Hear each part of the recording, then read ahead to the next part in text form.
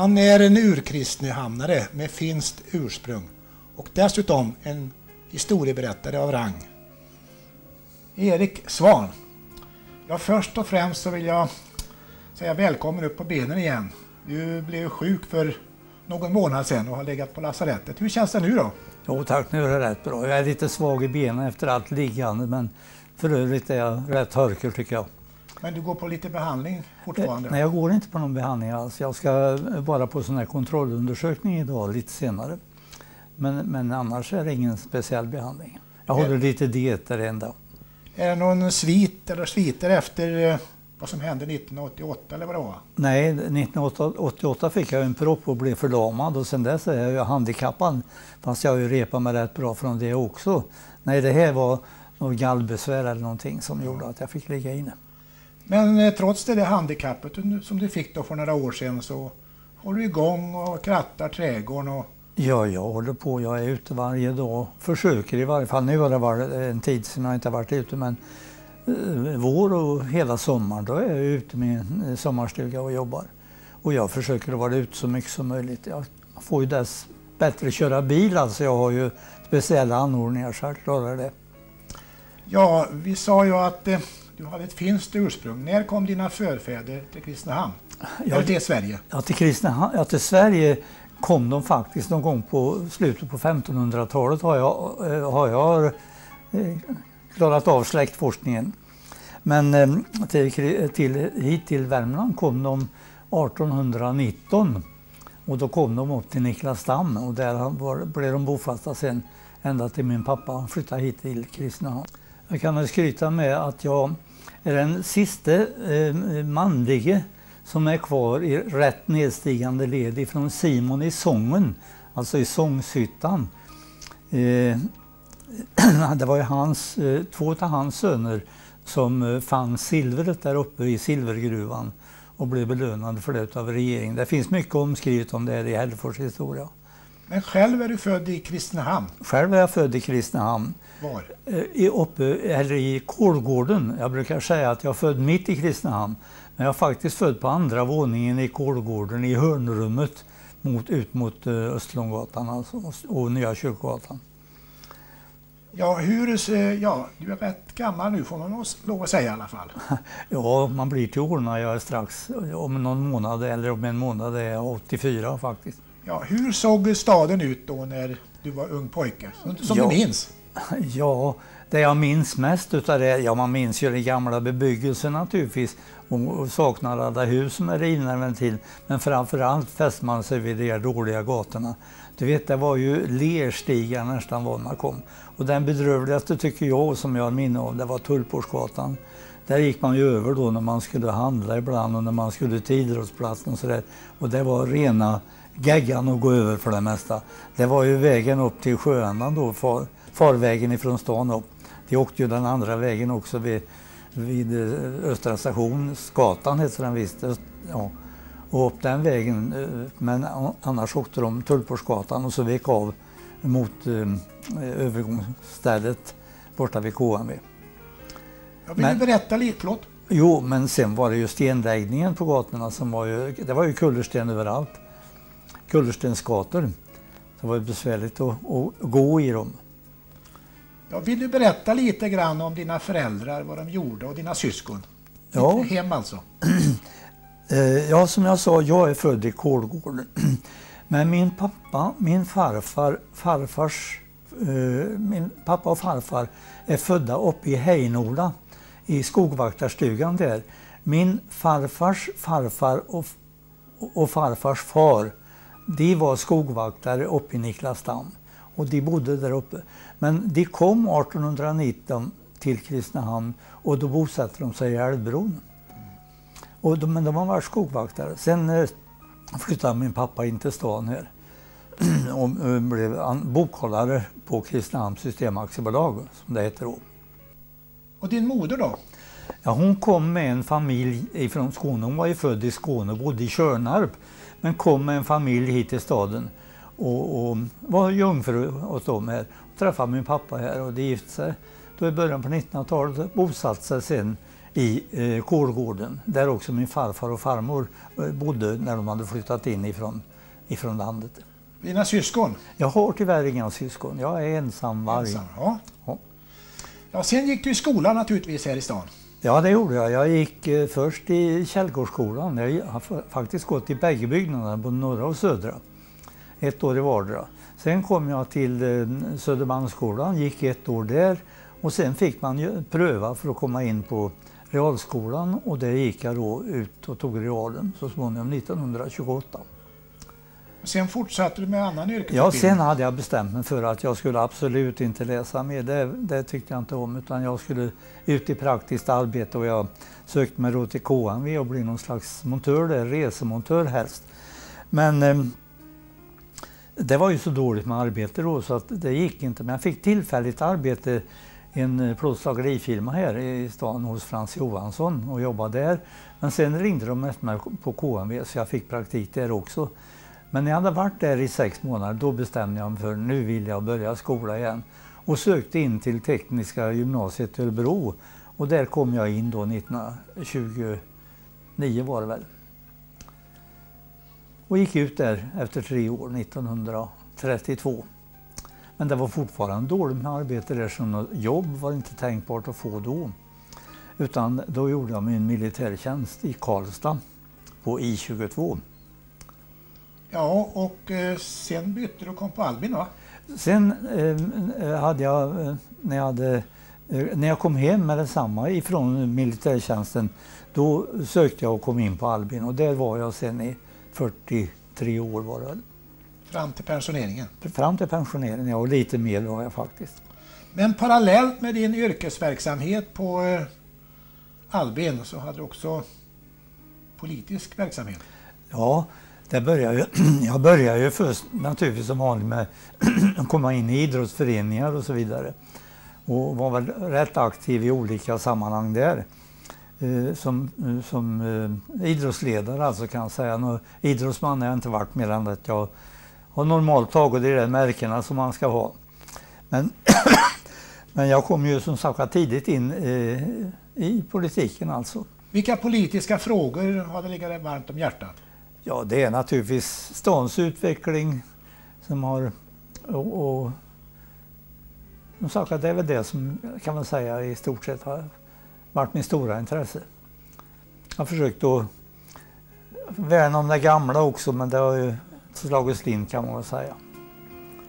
Ja, men det har väl rättat till sig en del kan man säga också. Ja, det har jag väl gjort en del kan jag väl säga. att jag har väl varit med och, och bevarat det som jag är mest stolt över. att eh, Det jag låg och arbetade med det var Musmagasinet som det heter och det finns kvar än. Det var färdigt och skulle rivas. Jag hade köpt det, eller fått det rättare sagt utav drätselkammaren och skulle flytta ut det någonstans när hembygdsföreningen kom och äntligen ville ha det. Så småningom ändrade sig eh, arkitekterna och skulle inte riva det utan ville ha det kvar i en park som skulle vara där nere där det nu ligger. Får jag återgå lite grann till eh, Albin och din verksamhet. Vad hade du för verksamheter? Ja, det var varierande. Jag började som ritare där 1920, eh, eller 1932. 33 var det förresten. Och sen eh, fick jag hand om planering. Eh, jag blev lite verkstadman och så småningom produktionschef. Jag gick över till driftschef och så småningom blev jag någon slags byggmästare och allt i allo. Jag var med om och byggde upp Albin Marin, nya Albin där ute och byggnader i Göteborg, Stockholm, Avesta och Köping och allt vad det var, Göteborg. Det var mitt, eh, det jobb jag hade på slutet.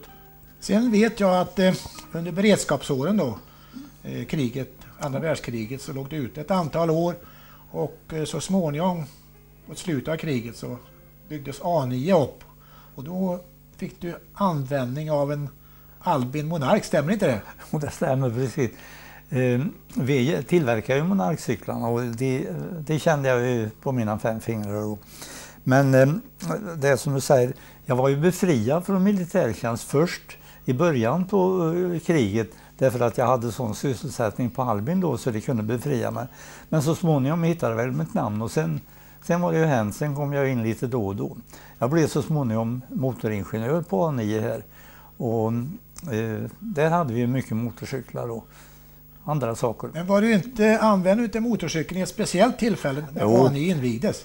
Jo, när ANI invigdes, då var jag, ja, först eh, kan jag ju säga det att överste Årman skulle ju eh, porträtteras och det skulle han göra utav min svåger som har gjort en del tavlor här, med Arne Kilsby.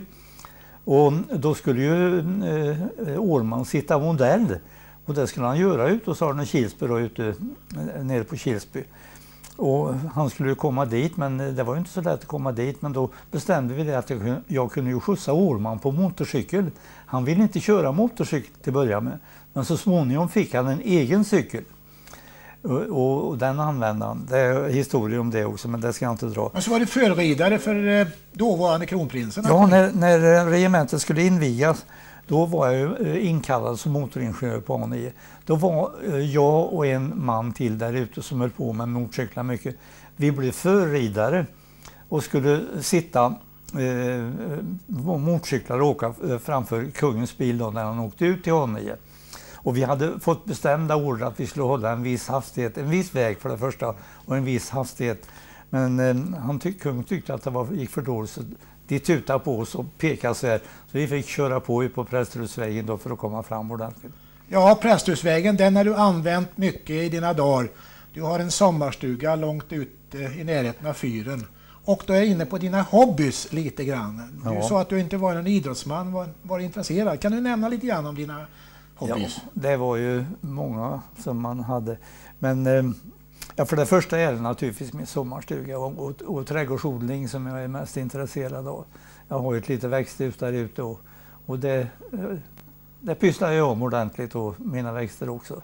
Men eh, det är dålig mark där ute, mycket sten och, och grejer och, och mycket trärötter som man har att kämpa med. Så att någon sån här idealodling är det väl inte, men jag får mina, mina, eh, mitt resultat i varje fall. Du har jobbat i eh, kanotsällskapet eller vad det heter. Ja, jag var, eh, det var jag. Jag var ordförande i eh, IF Kamraternas kanotsektion här. Det var jag i 17 år och han och, och ordna arrangera i varje fall. Jag var väl bas för det. Ett par svenska mästerskap. Och det gjorde väl att jag kom in mycket inom kanotsporten och så småningom blev jag faktiskt invald som eh, styrelseledamot i Svenska kanotförbundet. Det var jag i fyra år. Sen så, du är ju född innanför tullarna som vi säger här i Kristinehamn. Ja, innanför Och det innebär staketgatan. att eh, du får vara med i ett speciellt sällskap där kravet egentligen är att man ska vara född innanför tullarna. Ja, det är sällskapet på Längfyran. Det är ett förnämligt sällskap. Det är det förnämsta i Kristinehamn. Där är man tio man som är ordinarie. Två står alltid på tillväxt. Men för fordringarna för att komma in i det sällskapet, det är att man helst ska vara född inom staketgatorna, vara en urkristnamnare alltså. Och eh, eh, man ska dessutom vara, ha intresse för sjön. Och det har jag ju också haft naturligtvis, tack vare att jag har tillgång till eh, kanske lite billigare motorer än andra och byggt mina båtar själv. Ja, innanför tullarna fanns det, har funnits och finns väl fortfarande en hel del original. Kan du nämna några stycken av dem som har funnits här Ja. tidigare? Det som man eh, närmast tänker på som, som naturligtvis är, är eh, som man pratar mest om det är ju Hajen och Atti, eh, Viktor med foten och en del andra. Noring eh, nämns sällan men det var ju det stora originalet i Kristinehamn. Sen finns det ju läkare och lärare, tandläkare som är stora original som kanske mer har kommit i skymundan för de här andra. Men de här, eh, de här eh, originalerna de är väl dokumenterade i Kristinehamn tror jag genom olika eh, böcker och så vidare. Och deras historier, Men det var ju intressant. Alltså. En som jag faktiskt, som sällan nämns, men som nog var den första jag kom i kontakt med och det var när jag var med farfar och skulle lära mig att meta en Kristi. Då träffade vi nere vid Vågbron den så kallade Trasröva, som man heter på svenska. Det var ju ett väldigt stort original. En liten man gick där nere och hovade nästan hela sommaren och hade en stor brättig hatt och, och som namnet säger så, så var han väl lite trasig där bak och baken hängde rätt ganska långt ner också. Ja, jag ska strax be dig dra någon Kristinehamnshistoria också här innan vi slutar. Men dessförinnan så ser jag här bakom så har vi din hustru som numera inte finns i livet. Mm. Och så har du en tavla av, Ja, det är min yngsta dotter. Det är Arne Kilsby som har målat den. Han har målat en av min äldsta också som jag har där inne. och Och han dottern har- Eva va? Och han har också målat en som jag har ett annat rum av min hustru. Ja. Ja, hon gick bort 93 alltså. Men hon var också född inom staketgatorna i här i Kristinehamn. Och Du har din dotter en kvar i stan ja. Eh, Min eh, yngsta dotter här, hon har ju sin lilla rörelse här, sin eh, vävbod nere i kvarteret Vågen. Där hon håller på. Den äldsta dottern är utomlands, bor utomlands. Hennes man har ju arbetat utomlands. Ja, så väl både du som hela din familj är alltså urkristna hamnare. Och vi återkommer då igen till de här originalen. Ja, Utan anknytning till dina, din familj förstås. Vill du dra ett par, eller en i varje fall, historia om något ja du, du vill väl helst att man drar någon, någon eh, historia om de här originalerna som jag talade om. Det finns ju många Värmlandshistorier man kan dra, men jag ska, jag ska ta det kanske, det är kanske en upprepning, men alla kanske inte har hört dem, i varje fall inte utav mig. Och det kanske inte är framförda på det sättet i böckerna heller. Men eh, Hajen var ju en, eh, och som det går många historier om, och han var ju trevlig historieberättare också. Han eh, bredde väl på lite grann på en del historier, men andra är ju faktiskt väldigt fint funna. Jag ska ta en historia om eh, när man eh, la ner rör i Västerlånggatan. Man eh, ökade dimensionerna där när man skulle ut i Folkets hus. Och det gjorde det att Erik Larsson, direktören på Albymotaren, som hade en villa där polishuset nu ligger, han eh, kom ju inte över det för det grävs ju en lång grav där i Västerlånggatan, utan man byggde en bro där. Erik Larsson var ju med i drätselkammaren dessutom och eh, han kom hem till sin fru och berättade historier. Idag hade hajen sagt det och idag hade hajen sagt det. Och hon sa, uttryckte jämt att jag aldrig kan träffa den där hajen, sa hon, fru Siv Larsson. Men då när Erik Larsson kommer hem och hade gått över den där bron så får han se hajen nere i den där rödgraven. Och han springer in till sin fru och säger att Sigrid du, nu kan du gå ut och träffa hajen för hon, nu är han precis under bron här utanför, sån. Jaså, du säger hon, så springer hon ut. Och så vänder hon sig då. Men Erik, vad heter hajen? sa han. Han heter Holmberg, sa han. Ja, och så springer hon ut, får på sig kappan och ställer sig mitt över Holmberg där när han står och drevar ett rör. Och så säger hon, Goddag Holmberg, säger hon. Och Holmberg han vänder sig inte om, han står och drevar det. Goddag, säger bara. Och hon var lite irriterad och sa, men känner inte Holmberg igen mig som? Då tar han försiktigt och lägger ifrån sig alla verktygen, håller lite grann i mössa och tittar rakt upp och så säger han, nej, inte i det här perspektivet, säger han. Ja, det var trevligt att höra. Ja. Ja, låt det få bli en avslutning på det här trevliga samtalet och så får jag önska dig lycka till på rehabiliteringen i fortsättningen. Tack så du ha. Tack så.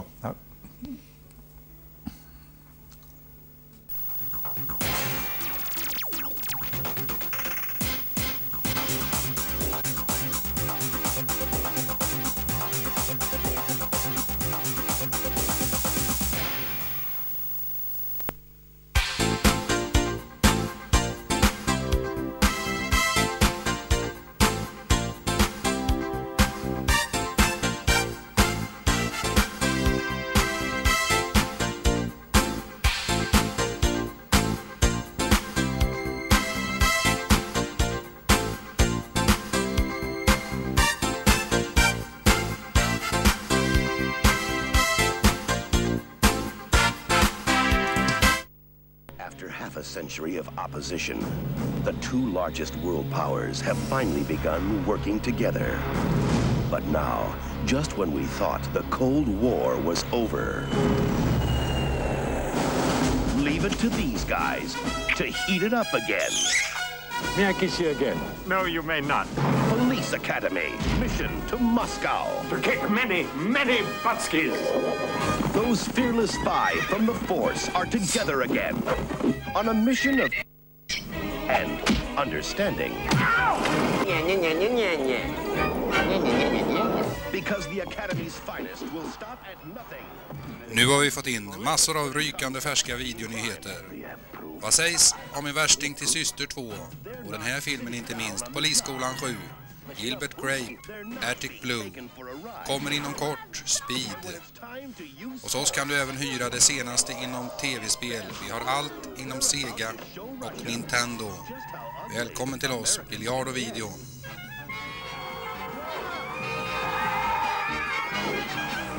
The Cold War may be over, but give them time. They just got here. Police Academy, mission to Moscow. Kom loss, studera hos oss. Nu är det hög tid att anmäla sig till vårens kurser. Du kan anmäla dig till snickeri, språk, slöjd, sying, jägarexamen, data, skärgårdsskeppare, kustskeppare. Ring 15775 och kom loss du också.